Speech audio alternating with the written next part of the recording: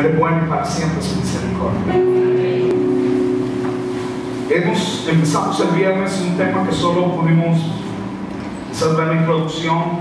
Estamos hablando de la experiencia de la adoración. Digan conmigo, la experiencia de la adoración. La experiencia del adorador. ¿Cuántos de nosotros hemos experimentado a Dios en medio de la adoración? ¿A cuánto Dios ha hablado en medio de la adoración? ¿Cuánto hemos recibido un milagro en medio de la adoración? ¿Cuánto hemos recibido paz en medio de la adoración? Adorar es parte de lo que somos. Somos creados para alabanza de la gloria de Dios. Y el hombre y la mujer tienen una necesidad, un hambre y una sed que solo Dios puede llenar. Y por eso el salmista escribía en el Salmo 42, y si me puedo acompañar ahí por favor, Salmo 42, versículo 1. Salmo 42, versículo 1. Oh, gracias te damos, Señor. Esta mañana, tarde, háblanos, Dios, a nuestros corazones, a nuestras vidas. Espíritu de Dios, paséate en medio de cada uno de nosotros. Llena esa hambre y esa sed. ¿Cuántos tienen Salmo 42? Como el siervo brama por las aguas, por las corrientes de las aguas, así clama por ti, oh Dios, el alma mía, mi alma tiene sed de Dios, de Dios vivo. Diga, mi alma tiene sed. El ser humano ha tratado de llenar esa hambre y esa sed con diferentes cosas. La trata de llenar a través de la fama, de las riquezas, la economía, la trata de llenar a través de filosofías, a través de un estatus social, a través de doctrinas extrañas.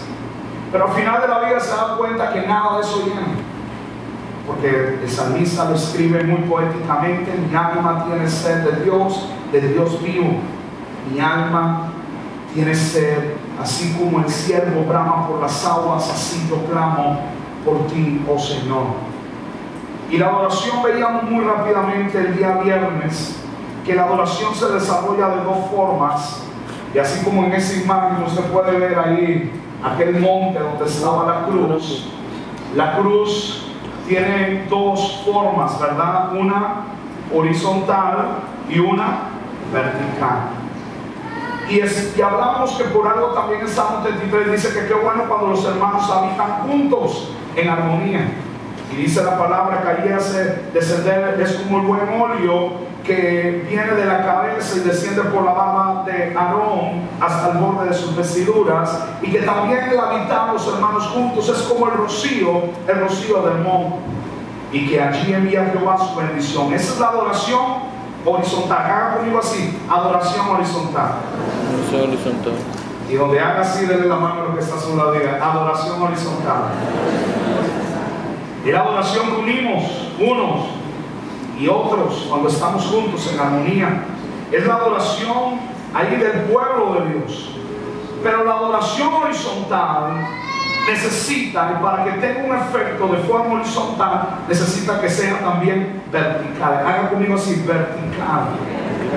Vertical, recto, derecho, algo que sea una relación con santidad delante de Dios de nosotros los hombres hacia Dios y de Dios hacia nosotros en confirmación, en palabra para nuestras vidas.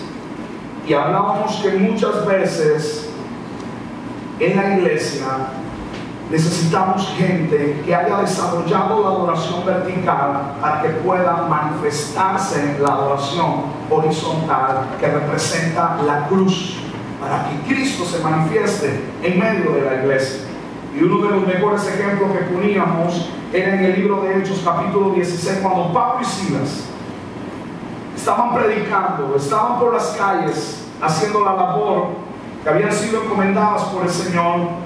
Y en eso se encuentran con una situación y Pablo y Silas son azotados, encarcelados y dice que fueron puestos en la cárcel de más adentro.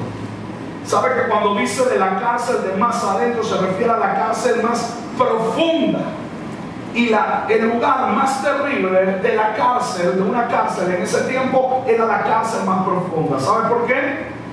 Porque era donde llegaban a terminar todas los, las cosas, los, los, las, lo que el hombre desea.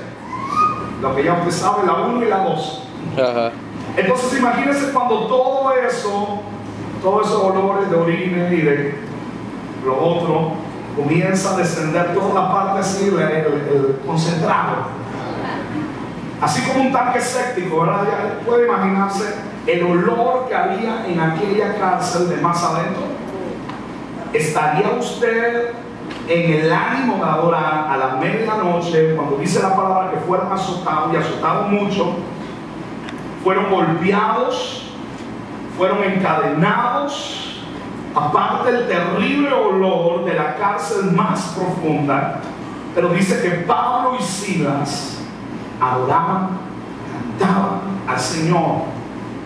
Muchas veces en la situación más adversa de nuestras vidas es el mejor momento de levantar nuestras manos y adorar a Dios. Es el momento mejor para abrir nuestros labios y dar verdaderamente una alabanza que sea grata delante de Dios. Y hoy en nuestras iglesias estamos necesitando gente como Pablo y como Silas, que en medio de situaciones difíciles, en medio de enfermedades, de circunstancias, de catástrofes, estén levantando su voz y adorando a los cielos. Porque cuando alguien tiene esta adoración vertical, de una forma recta, de una forma honesta, íntegra, sincera delante de Dios, se va a manifestar horizontalmente. Porque ¿qué ocurrió ahí en el libro de los Hechos? Ocurrió un terremoto. Diga conmigo, un terremoto. ¿Y qué terremoto tan fuerte ocurrió? Que las cadenas y las puertas de la cárcel fueron abiertas. No solo la de Pablo, no solo la de Silas, sino la de todos los presos. Y dice la Biblia que los presos le voy a adorar. Yo me imagino que esa adoración subió como un olor grato delante de Dios. Poder está saliendo de mí. Alguien me está adorando y donde hace así, la tierra comenzó a temblar. Y las puertas y las cadenas de todos los presos fueron soltadas. ¿Qué quiero decirte con esto? Si en la iglesia hay gente que está desarrollando intimidad de adoración, van a producir algo en la iglesia. Así es. Entonces imagínate si esta iglesia no solo tiene dos, sino cuatro, cinco, seis, diez, veinte, Pablo y Silas. ¿Puedes imaginar el estado espiritual que ocurre cuando adoramos y exaltamos al Señor en este lugar? Y dice que cuando llegó el carcelero se iba a matar, porque dice, los presos se han ido. Le dice Pablo, cálmate, aquí están todos. ¿Qué tal unción, qué tal poder había en ese lugar? Que los presos se soltaron sus cadenas, abrieron las puertas y no salían huyendo. Y es porque cuando está la gloria de Dios en un lugar, uno no se quiere ir, uno quiere estar ahí disfrutando. ¿Cuántos de nosotros hubiéramos sido ese preso? Si usted estuviera encarcelado y se abre la puerta, se rompe la cadena, ¿cuántos hubiéramos salido huyendo? ¿Verdad que sí? Pero algo los detuvo. Algo demasiado poderoso detuvo a Pablo y a Silas. Entonces cuando la congregación de los santos, están santos esta tarde en este lugar, no hay santos aquí, gloria al Señor. Esa es la palabra que hemos sido santificados. ¿Cuántos han sido santificados? Entonces, ¿dónde están los santos del Señor? Aleluya, varón. Y es que lo que pasa es que algunos se, se acordaron del pecadito que cometieron ayer, ¿verdad? Ah. En la congregación de los santos debe existir la adoración. Debe existir una adoración que sea efectiva, que sea eficaz. Y esto crea una atmósfera tan bella para que la palabra de Dios sea sembrada. Hoy adoramos, hoy cantamos y la adoración ha preparado sus vidas como la tierra cuando va a ser sembrada una semilla. Así que ustedes esta mañana están preparados para que la palabra de Dios siga hablando a su corazón. Pero es importante no solo, como dice la Biblia, ser oidores, sino hacedores. Y una forma que nosotros demostramos una vida de adoración lo expresamos, pero solo la adoración te permite conocer a Dios. Son dos cosas muy diferentes. Una cosa es conocer de Dios, del conocimiento de Dios, y otra cosa es conocer a Dios que nosotros adoramos. Porque si la iglesia comprende, la iglesia tiene muy claro el Dios que adora, cosas poderosas suceden. Entonces yo quiero hablarte de ocho puntos de cosas que producen, deben producir adoración en ti, para saber si fue algo emocional, Gente, porque como estamos cantando ahorita, yo he visto conciertos donde no, son conciertos cristianos y son parecidos. ¿Usted los ha visto? ¿Cuántos han visto conciertos en algún momento cristiano donde, o en algún momento de alguna feria, alguna festividad, los jóvenes saltando y gritando? Igualito. Entonces, ¿dónde está la diferencia? Porque en algún momento puede ser una emoción. Qué bonito el que canta. Qué bonita esa canción. Cuando cantan esa canción me llega al corazón. Pero está llegando porque la fuente de la emoción es Dios o está llegando porque es de la emoción, es de nuestra mente. Entonces, si nosotros estamos desarrollando una experiencia en adoración, número uno, la adoración va a producir en nosotros redención. Diga conmigo, redención. Redención. La adoración va a crear una atmósfera de redención.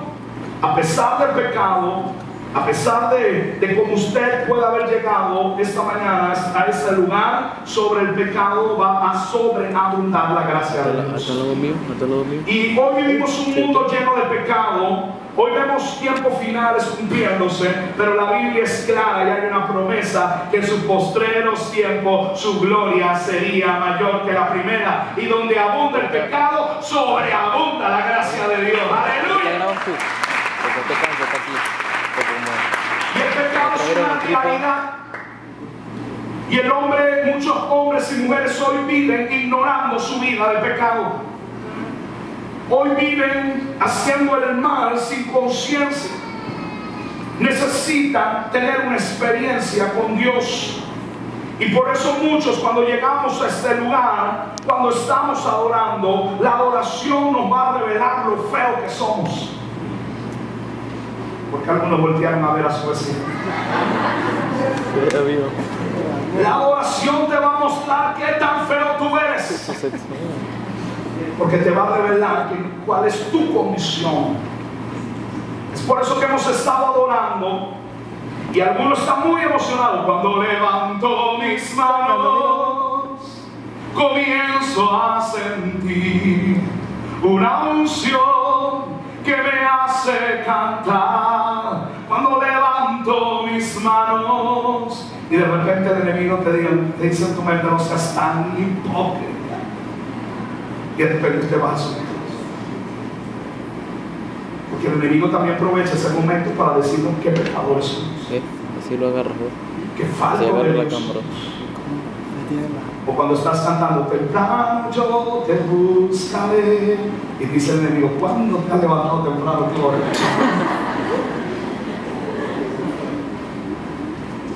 Pero en ese mismo momento, Dios permite que sea revelado nuestra vida, nuestra condición. Por eso que hay gente que a veces llega hasta por primera vez y queda llorando en adoración. Que en algún momento pensó que era buena, o era buena. Pero cuando tienes una experiencia de adoración, te das cuenta que pecador eres, cuán necesitado de Dios estamos. Y la adoración nos revela lo feo de nuestro pecado, que nosotros necesitamos redención. ¿Por quién? Por Cristo. Porque Cristo es el camino, la verdad y la vida. Nadie va al Padre si no es por Cristo, por Jesús. Y una de las mejores evidencias de lo que te estoy hablando está en la Biblia. En Isaías capítulo 6. Acompáñame, Isaías capítulo 6, versículo 1. Isaías capítulo 6, versículo 1. Cuando ya lo tengan, digan fuerte gloria a Dios. ¿Lo tienen? ¿Cuántos lo tienen? Isaías capítulo 6, versículo 1. Sí, En el año que murió el rey Usías. ¿se acuerdan? Predicamos de esto. Usías estableció un reino seguro, estable. ¿Cómo? Isaías, según algunos teólogos, tiene que haber tenido un parentesco con el rey Usías. Así que Isaías tiene un conflicto emocional y empieza el capítulo 6 como algo muy nos- nostálgico, el año que murió el rey Usías. Cada uno tenía selladas, con dos cubrían su rostro, con dos cubrían sus pies, con dos volaban. Y el uno al otro decían, uno a otro decían, dígalo conmigo, santo, santo, santo.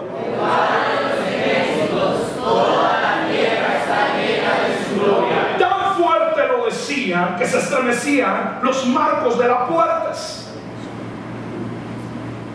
Cuando ellos clamaban y se llenó la casa de un humo, versículo 5. Entonces dice Isaías, ay de mí, lo mismo que a nosotros nos pasa.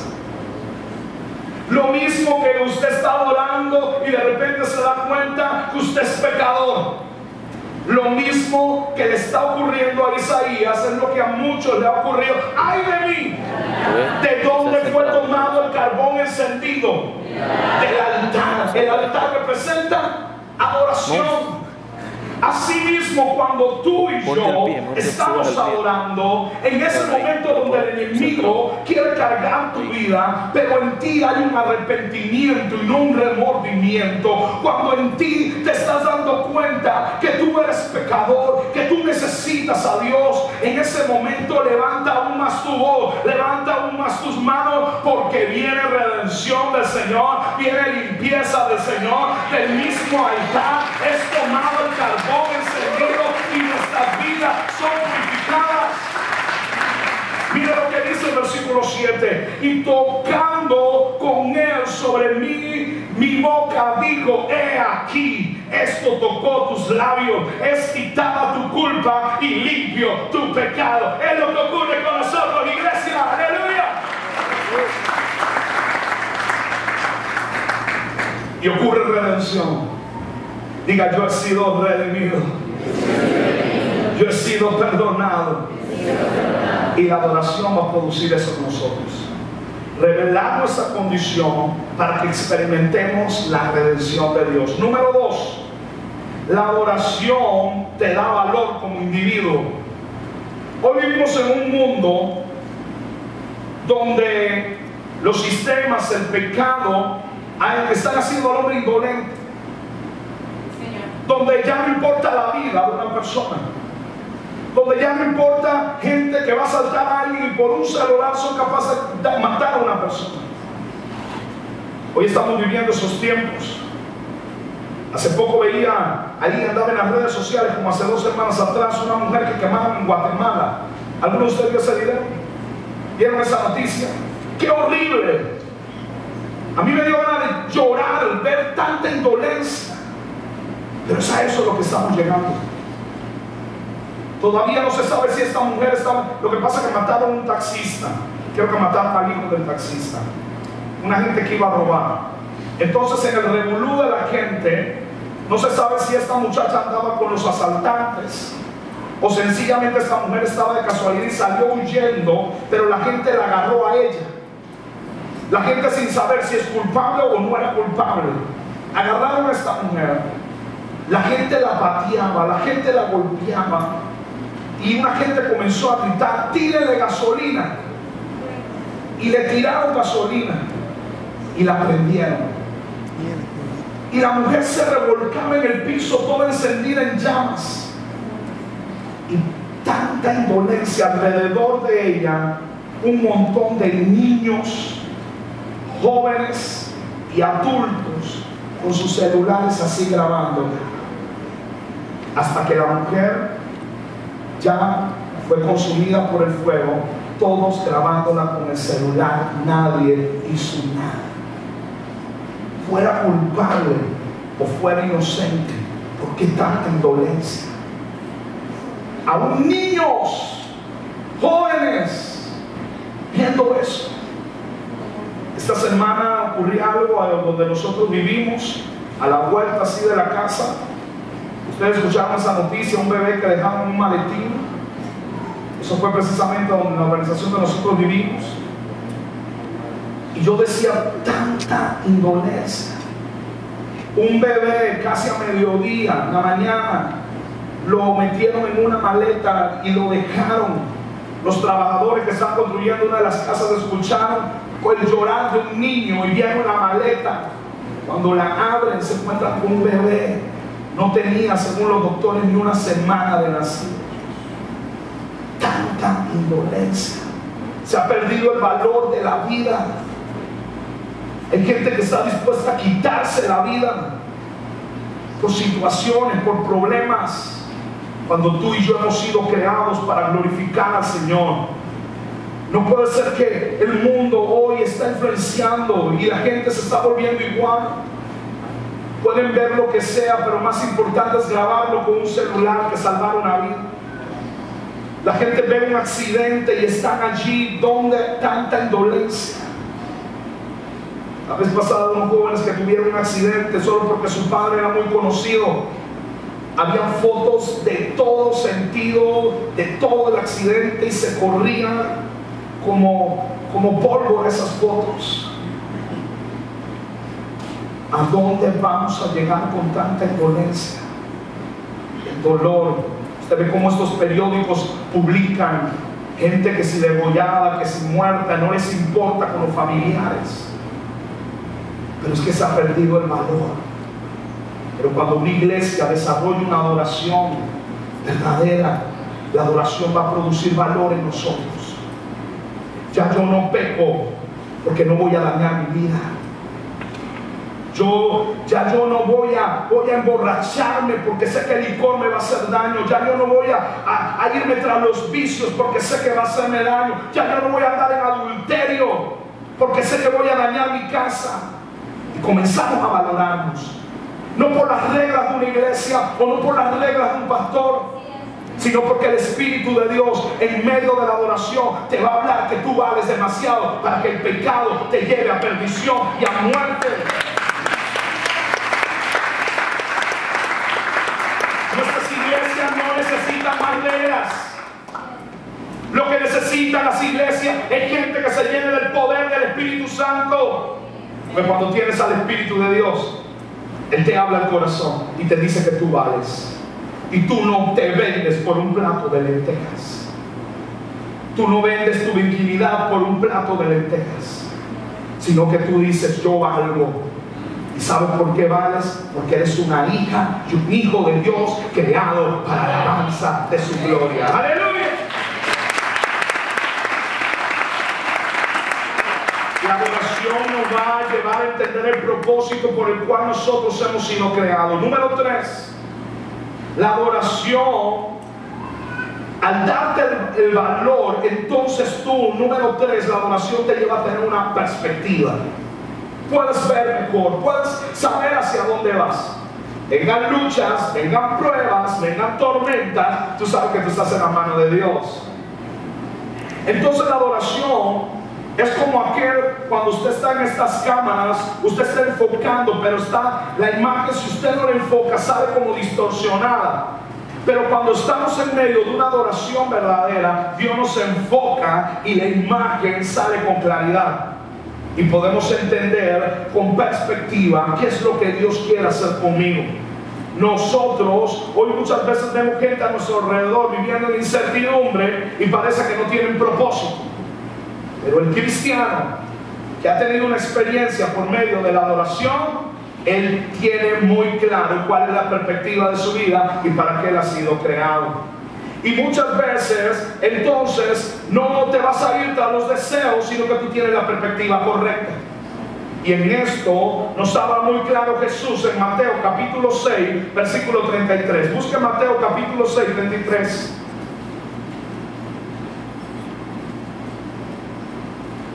Mas buscar primeramente el reino de Dios y su justicia y todas estas cosas serán añadidas.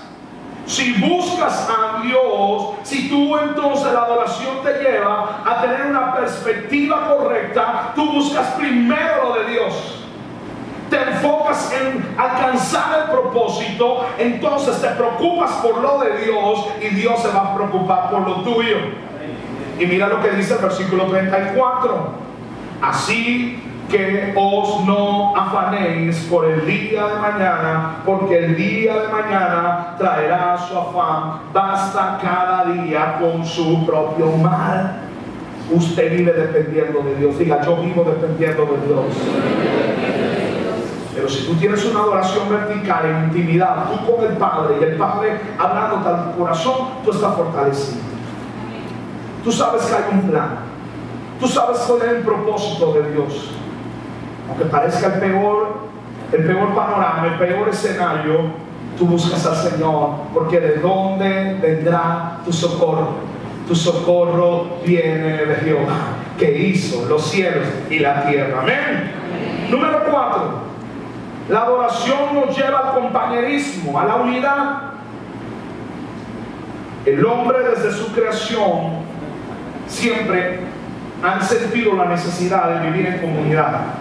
Por eso formó familias, por eso, por eso formó clanes, por eso formó tribus, formó pueblos, ciudades, naciones. Porque el hombre fue creado imagen y semejanza de Dios y Dios no es un Dios ermitaño. Dios vive en familia, Dios Padre, Dios Hijo, Dios Espíritu Santo. Y nos incluyó a nosotros dentro de esa familia. Aún nosotros que no merecíamos, dice que por amor su Espíritu ha venido a nosotros y nos ha adoptado, por el cual podemos clamar. Entonces la adoración nos debe llevar a vivir entonces en una adoración horizontal con el que está a tu lado, con el que está atrás, con el que está adelante. Y el apóstol Pablo estimula a la iglesia en Filipenses, busca Filipenses capítulo 2.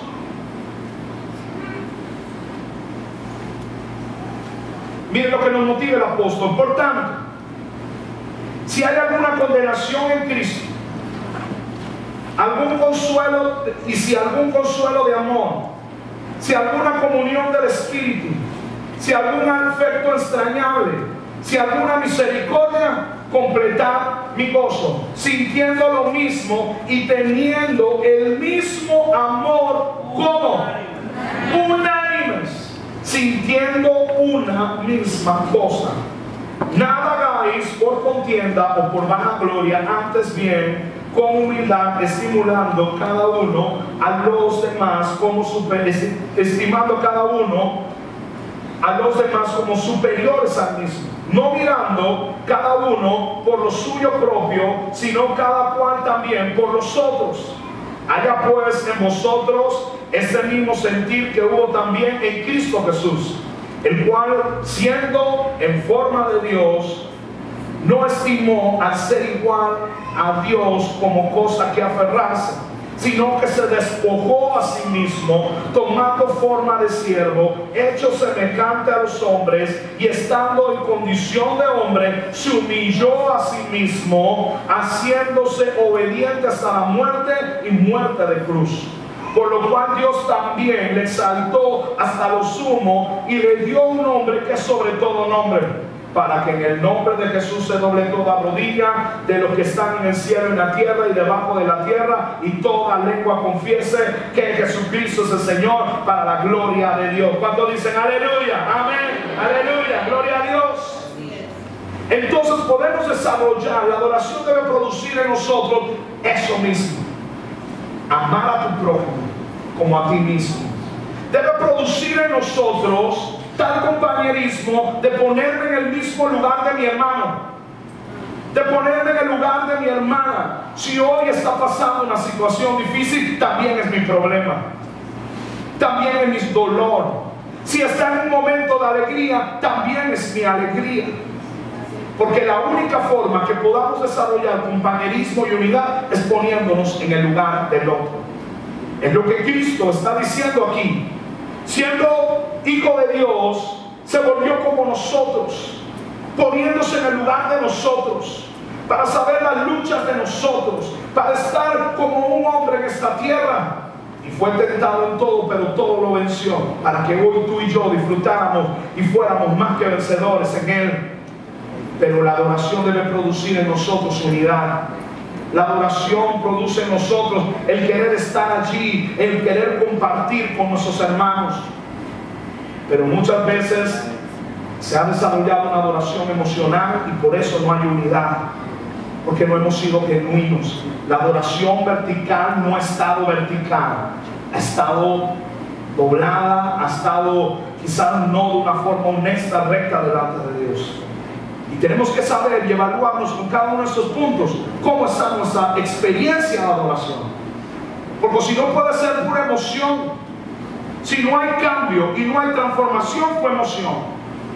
Y la iglesia tiene que experimentar la transformación por medio de la adoración. Número 5. La adoración nos instruye. La adoración nos enseña. ¿Cuántos hemos recibido instrucción de Dios por medio de la adoración? Cuando hemos estado adorando, Dios habla nuestro corazón. Hemos tenido un interrogante y estamos adorando y Dios nos habla. Dios habla al corazón, nos, nos comienza a dar una dirección. ¿Por qué? Porque en medio de la adoración hay enseñanza, hay instrucción, hay palabra de Dios al corazón. ¿Cuántos de ustedes han estado adorando en intimidad en la casa y ustedes están ahí y sienten la palabra de Dios en su corazón y eso les da fuerza? Por eso el Salmo 27, mira lo que dice el Salmo 27, versículo 4. Mire lo que el salmista decía, una cosa he demandado a Jehová y esta buscaré que esté en la casa de Jehová todos los días de mi vida para contemplar la hermosura de Jehová y para inquirir en su templo. Diga conmigo, inquirir. inquirir. ¿Qué es inquirir? Según el diccionario, inquirir es tratar de llegar al conocimiento de una cosa, especialmente a través de preguntas. Usted está allí en la presencia del Señor, usted está adorando, usted está glorificando. Y entonces dice el Salmo 27, en el versículo 11, mire lo que dice en el 11, enséñame, oh Jehová, enséñame tu camino, guíame por tu senda de, de rectitud. Entonces cuando nosotros estamos adorando, va a haber enseñanza de Dios, va a haber dirección de Dios para tu vida. Entonces tú le vas a decir allí en medio de preguntas, Señor, enséñame. Muéstrame cuál es tu voluntad. Estás adorando y Dios trae respuesta. Dios te da una dirección. Dios te da una estrategia. Pero solo se logra cuando el hombre y la mujer desarrollan una intimidad con Dios. Necesitamos desarrollar esa intimidad. Número 6. La adoración enriquece nuestra personalidad y forma el carácter. Necesitamos formar nuestros caracteres. Y para que tu carácter sea formado, tu personalidad necesitas adorar a Dios. Porque en la adoración sufrimos, esa, esa transformación. Mire, Mateo capítulo 16. Libro de Mateo capítulo 16, versículo 24.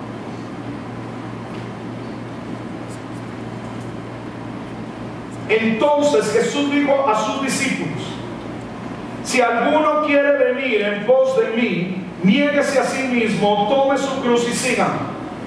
Porque todo el que quiera salvar su vida, la perderá. Y todo el que pierda su vida por causa de mí, dice que la palabra vida ahí también puede ser traducida como personalidad. Entonces pudiéramos decir, todo el que quiera salvar su personalidad, la perderá. Y todo el que quiera perder su personalidad por causa de mí, ¿qué ocurre? La hallará. Porque encuentras personalidad en Dios.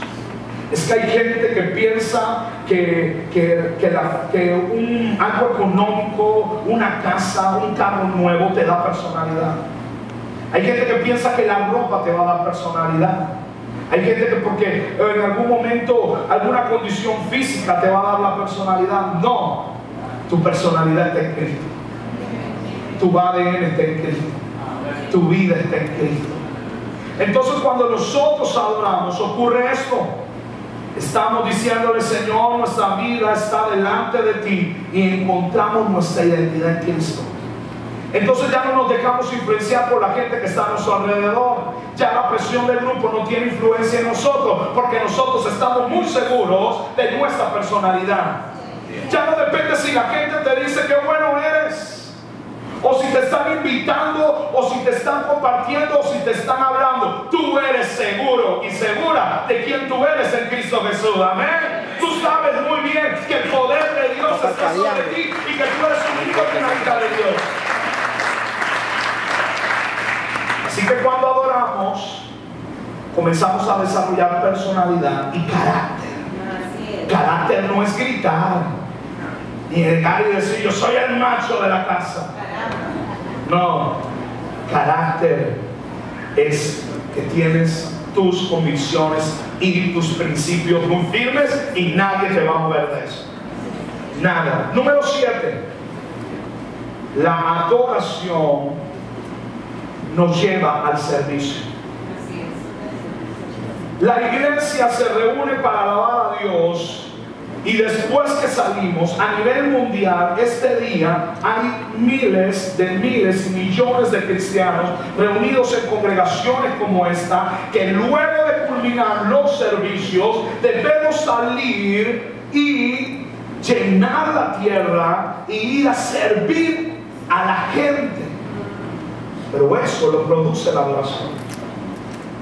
Si la iglesia estuvo en un culto ha estado adorando a Dios y no eres movido al servicio, fue emoción. Tú tienes que salir de este lugar con alguna motivación de servir a Dios. O de predicar por alguien, o de orar por alguien, o de, o de servirle a alguien, o de hacer algo para el reino de Dios. Pero si tú no sales con la motivación de servir, no hubo adoración. Pudiste haber gritado, Pudiste haber dado los gritos más fuertes, haber saltado, pero al final emoción es emoción. Así que vamos a evaluarnos si nuestra adoración está siendo en espíritu y en verdad. Que debe salir desafiado de esta reunión. A ver qué voy a hacer. ¿Qué puedo hacer para Dios? Porque la adoración nos lleva a servir Número 8. Y último punto. Estamos llenos de un mundo de incertidumbre. Estamos en un mundo donde cada día hay más noticias. En estos días les decía 40 volcanes a nivel mundial activos. Algunos científicos preocupados por este volcán también. terremotos, acontecimientos que pudieran desatar una tercera guerra mundial, maldad, indolencia. ¿Cuántas noticias recibimos cada semana en los medios de comunicación? Pero cuando nosotros adoramos, hay algo que ocurre. Dios nos da paz. Dios te da paz en medio de la tormenta. Mire lo que dice Juan capítulo 14, versículo 25. Os he dicho estas cosas estando con vosotros. Aleluya. Más el consolador, el Espíritu Santo, a quien el Padre enviará en mi nombre. Él os enseñará todas las cosas y os recordará todo lo que yo he dicho. La paz os dejo, mi paz os doy. Yo no os la doy como el mundo la da. No se turbe vuestro corazón, ni tenga miedo. Cuando tú adoras, paz de Dios viene a ti. Paz de Dios viene a ti, que no importa situaciones, problemas, enfermedades. El Espíritu de Dios, el Espíritu de la promesa viene sobre nosotros y nos inunda de paz. Y la gente no puede entender por qué tú tienes paz. La gente no puede entender con un problema, una, situación tan difícil como, el Espíritu te conforta. Esta semana que pasó, unos, una familia de la iglesia sufrió una situación muy dura, perdieron a su hijo en un accidente. ¿Saben? Escucharon ustedes la noticia.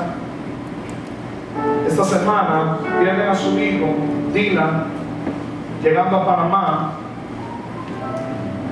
Pero cuando uno habla con los familiares, aún con las hermanas de ese niño, niño de nueve años, uno se da cuenta que solo el poder de Dios puede hacer lo que está haciendo en la vida de esta gente. Y precisamente el domingo pasado hablábamos de las adversidades, situaciones inesperadas que vienen a nuestras vidas. Pero aún en la situación, aún en la muerte, hay paz. ¿Cómo no vamos a llorar si cuando despedimos a alguien lloramos? Pero sencillamente sabemos que todas las cosas ocurren porque Dios tiene un plan. Lo que pasa es que nosotros vemos una porción de la pintura y no vemos la pintura completa. Y a veces suceden estas cosas y no hay un por qué, sino que hay un para qué. Y lo que yo sí sé es que esta familia va a ver la mano de Dios, porque Dios está hablando de una forma increíble. Cualquiera diría, pero ¿cómo pastor? ¿Por qué un niño inocente? ¿Por qué? Porque Dios hace como Él quiere. Díganme, era un angelito, es un angelito hoy. Corría por esta iglesia, había cantado atajando. Hoy los ángeles también están allá. Y quizás esté ahí delante de la presencia ahí porque Él es un angelito. Pero aún en la muerte, que cree en el Señor, aunque esté muerto, vivirá. ¿Dónde está muerto, muerte tu aguijón? ¿Dónde sepulcro tu victoria? Aleluya. Porque en el cristiano no hay muerte, sencillamente hay vida eterna. Amén. Aleluya.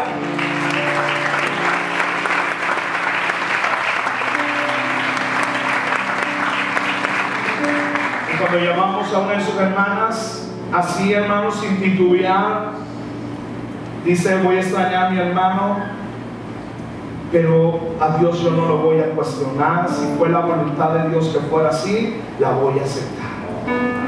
Cuando yo entonces me encuentro que más el consolador, el Espíritu Santo, a quien el Padre enviará en mi nombre, los enseñará todas las cosas. Esta misma mañana, mire para que usted vea que cuando algo Dios lo tiene destinado así va a ocurrir.